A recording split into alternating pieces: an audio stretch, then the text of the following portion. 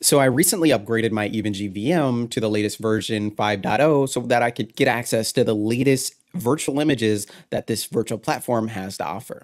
In this video, I'll show you how I did it.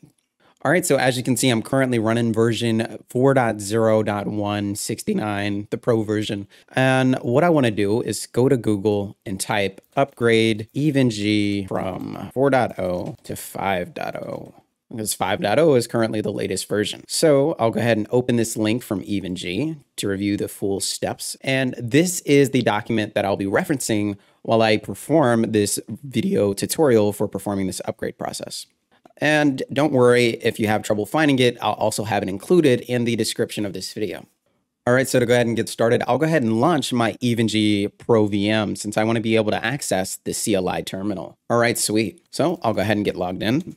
So before we get started, there are a few prerequisites that need to be in place to allow this upgrade to be successful. For one, you need to have a valid internet connection. For number two, you need to be able to, a DNS needs to be reachable from your EVE-NG virtual machine. Number three, no third-party repositories are allowed. So that's a disclaimer. And then all EVE-NG labs must be stopped uh, in this backhand window if you have anything running. Also, if you're using EVE-NG in the GCP platform in the cloud, they don't recommend that you perform this upgrade process. Instead, they recommend that you install the EVE-NG 5.0 in a new separate virtual machine.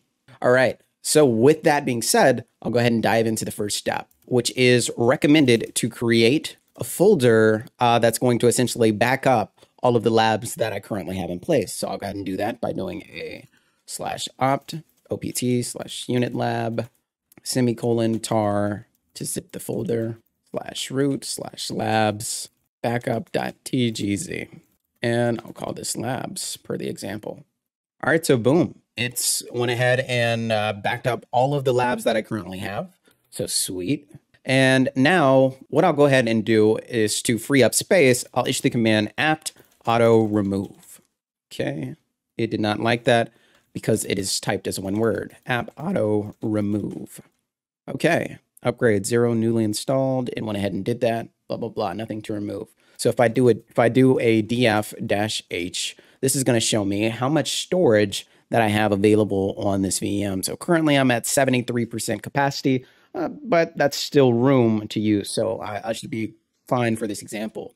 To confirm that DNS is working, I'll simply issue a ping to a URL and I'll make it simple. I'll just go with google.com. And here I can see that I'm successfully getting responses. If this doesn't work, this is likely indicating that DNS isn't working for your uh, EVE-NG setup, or you may just not have internet access. So you want to check both of those. All right, so next I'll go ahead and get started with the apt update to update uh, this Linux kernel. So I'll perform that command and let it do its thing. All right, so that's just finished performing that apt update. Now I'll issue the command apt upgrade and I'll hit enter. It's gonna prompt me, uh, do I want to confirm? I'm gonna type Y for yes.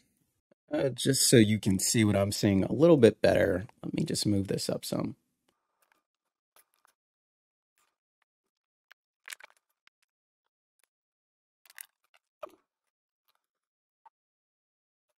All right, so that's just finished upgrading. So now I'll go ahead and issue this final command, apt dist upgrade. Okay, and now that that's finished, I'll go ahead and top this off with a reboot.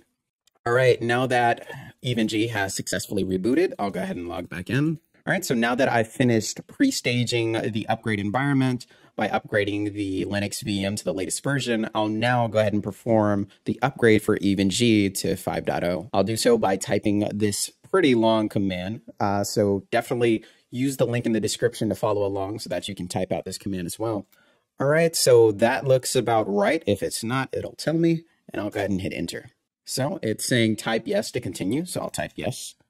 And here it'll go and perform this upgrade process. So I'll give this a moment and I'll see you when it's done. All right, the EVE-NG server has just finished performing the upgrade. And now it's prompting me to reboot. So I'll go ahead and press enter. All right, so EVE-NG has come back. I'll go back to my browser. And now if I go ahead and refresh this page, let's see. My browser is having a bit of trouble here. So I'll go to my history and I'll just clear my browsing data. Clear from all time. No thanks. And so I'll go back over to EVE-NG. I'll give this a refresh. I'll click the advanced settings and click login. And hey, now I can see my EVE-NG Pro VM is running that 5.0 software, admin Eve. And if I log in, just to confirm that it's on the new version, if I go over to here and I type, for instance, Juniper, I can see that this version currently contains the newly released Juniper vEX switch. So if you're having issues on your end, try re uh, clearing your browser data and uh, relaunching that connection to EVE-NG. All right, well, that is the end of this video. I hope you found this video helpful. If you did, go ahead and smash that like button and subscribe to the channel. As always, thanks for viewing, and I'll see you in the next one. Bye.